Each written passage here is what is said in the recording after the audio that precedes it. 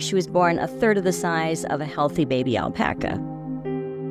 She was only two weeks premature, but she was a tiny, tiny baby. Her mom did not pay any attention to her and actually almost stepped on her a couple times. So I pretty quickly brought her inside uh, to take care of her, and Cody ended up living in the house for about six years. I started with bottle feeding her that very day. Cody was a fighter from the day one. She took that bottle, as tiny as she was, and guzzled it down.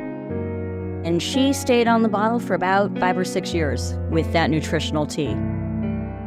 For the first couple of years, Cody was uh, very medically fragile. She would crash at any given moment. We spent many times rushing to the hospital, going on antibiotics. She slipped and broke her leg twice in the first year of her life. It was a lot of touch and go for a while. Once we got past a lot of the medical hurdles, she then started to gain weight and grow, which was really nice. She basically had a pen in my room. Uh, as she got a little bit older and could run around a little bit, I would carry her downstairs for the day, and she also had an area in my living room, basically on a blanket. She wasn't penned in or anything. She was actually um, potty trained by the time she was 10 days old. Quicker than a puppy, she learned to go to the door when she had to go out. Having a, an alpaca in your home is quite different. It is a lot of work, a lot of cleaning. You get hay everywhere. Alpacas are herd animals. They need to have buddies.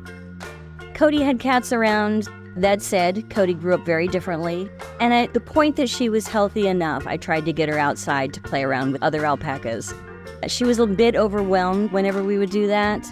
She didn't quite know what to do with all these other alpacas. As she grew up, it was like a year old, and the new babies arrived from the next year. She would go out and they'd be so curious about her and they would try and sniff her, and she was so flummoxed. She didn't want anything to do with them. She liked watching them, but she didn't really want them to interact with her. She's still kind of like that. Cody now has a very quiet life. She has three friends. Cody's favorite part of the day is when I go there and open up their little barn, and the other three go outside to play, and Cody really enjoys having the barn to herself. She stays inside, she has a snack, and she enjoys having her solitary space, just like she always has. Right now, Cody's probably about 90 to 100 pounds. It's nice for her to have friends, it's nice for her to be outside. I'm very happy that currently she is a happy, healthy alpaca.